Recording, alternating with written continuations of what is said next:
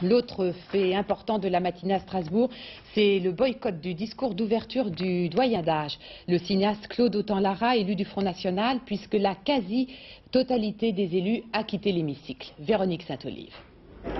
Ils sont entrés, ils ont déposé une rose sur leur pupitre, ils sont ressortis.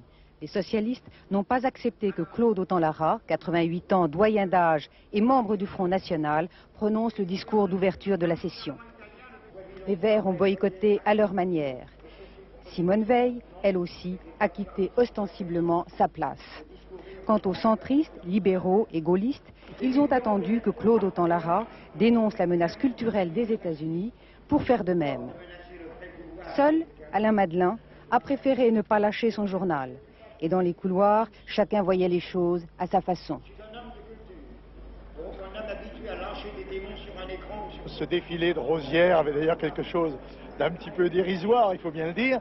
Euh, je crois que euh, c'est une démonstration qui montre bien euh, l'esprit totalitaire qu'ont certains parlementaires, certains groupes parlementaires de cette Assemblée. Je crois qu'on n'est jamais obligé d'assister à un discours, puisque c'est un discours dans lequel qui n'est pas un débat.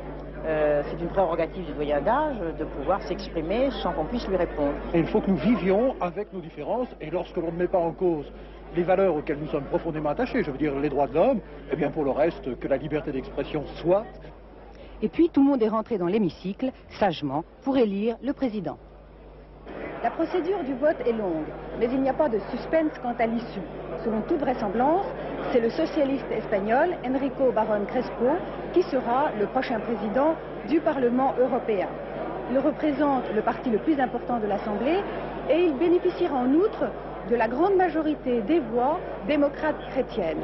Contre un renvoi d'ascenseur en cours de législature, en effet, M. Crespo devrait, vers 1992, dit-on, repasser la présidence à un collègue démocrate chrétien.